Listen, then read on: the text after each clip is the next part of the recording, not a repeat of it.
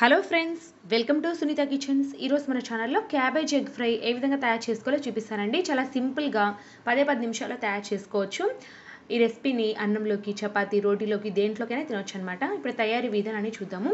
ముందుగా స్టవ్ వెలిగించి ఒక ప్యాన్ పెట్టుకొని రెండు టేబుల్ స్పూన్ల దాకా ఆయిల్ వేసి వేడి చేసుకోవాలి. ఆయిల్ బాగా వేడెక్కిన తర్వాత ఇందులోకి ఒక టీ స్పూన్ దాకా ఆవాలు జీలకర్ర వేసుకొని బాగా వేగనివ్వాలి. ఆవాలు జీలకర్ర బాగా వేగిన తర్వాత ఇందులోకి కట్ చేసి పెట్టుకున్నటువంటి ఒక మీడియం సైజ్ ఉల్లిపాయ అలాగే మూడు పచ్చిమిర్చి అలాగే ఒక రెమ్మ కరివేపాకు వేసుకొని బాగా దూరగా వేయించుకుందాము. ఈ ఉల్లిపాయ పచ్చిమిర్చి ముక్కల్ని రెండు మూడు నిమిషాల పాటు మీడియం ఫ్లేమ్లో పెట్టుకొని ఉల్లిపాయ ముక్కలు లైట్గా కలర్ చేంజ్ అయ్యేంత వరకు బాగా వేయించుకోవాలి. రెండు మూడు నిమిషాలు అయిన తర్వాత ఇందులోకి ఇప్పుడు శుభ్రంగా కడిగి కట్ చేసి పెట్టుకున్నటువంటి క్యాబేజ్ ముక్కల్ని వేసుకోవాలి. క్యాబేజ్ని సన్నగా తరిగి వేసుకోండి. త్వరగా ఉడికిపోతుందండి.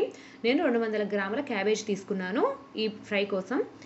ఇప్పుడు క్యాబేజ్ని ఒకసారి బాగా కలుపుకొని మూత పెట్టేసుకొని ఒక మూడు నుంచి నాలుగు నిమిషాల పాటు మీడియం ఫ్లేమ్లో ఉడికించాలి.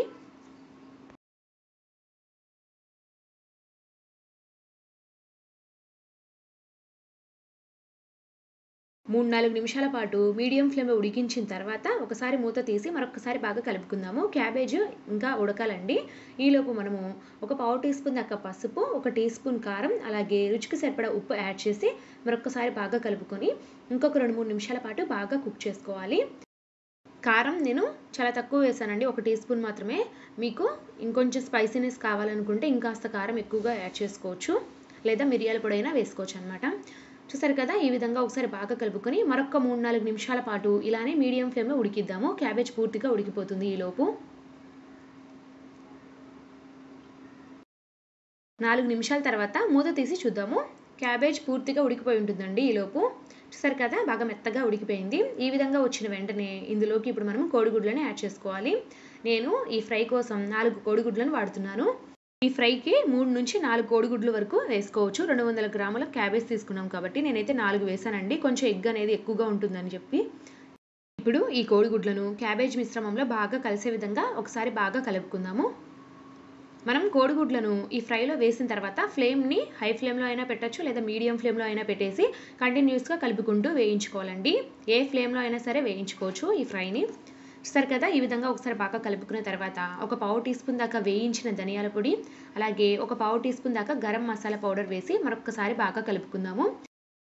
మీకు ఇష్టమైతే ఇక్కడే ఒక చిటికడి మిరియాల పొడి కూడా యాడ్ చేసుకొని ఇలాగ కంటిన్యూస్గా కలుపుకుంటూ ఒక మూడు నాలుగు నిమిషాల పాటు మీడియం ఫ్లేమ్లో వేయించుకుంటే మనకి క్యాబేజ్ ఎగ్ ఫ్రై లేదా క్యాబేజ్ ఎగ్ బుజ్జి రెడీ అయిపోతుందండి.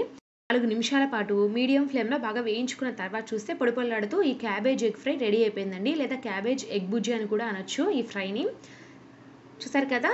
ఈ కోడిగుడ్డు కూడా బాగా ఫ్రై అయిపోయింది. ఈ విధంగా వచ్చిన వెంటనే స్టవ్ ఆఫ్ చేసేసుకొని వేడివేడిగా ఈ ఫ్రైని ఒక బౌల్లోకి తీసేసుకొని సర్వ్ చేసేసుకోవడమే.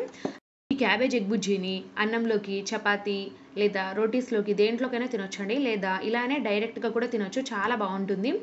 రెగ్యులర్గా ఉల్లిపాయలు ఎక్కువ వేసి ఎగ్ బుజ్జి తయారు చేస్తూ ఉంటారు కదా? అలా కాకుండా ఒక్కొక్క వెజిటేబుల్తో ఇలాగా డిఫరెంట్ స్టైల్లో తయారు చేసి పిల్లలకి పెడుతూ ఉంటే వాళ్ళు కూడా కూరగాయలు తినడానికి ఎక్కువ ఇష్టపడతారండి. ఇదే స్టైల్లో మనం క్యారెట్ క్యాలీఫ్లవర్ లేదా బీట్రూట్ ఇలాంటి వాటితో తయారు చేసుకోవచ్చు అండి ఒకసారి ట్రై చేయండి మీరు కూడా. సో ఫ్రెండ్స్ చూసారు కదా? ఈ వీడియో కనుక మీకు నచ్చినట్లయితే నా ఛానల్ని సబ్స్క్రైబ్ చేసుకోండి.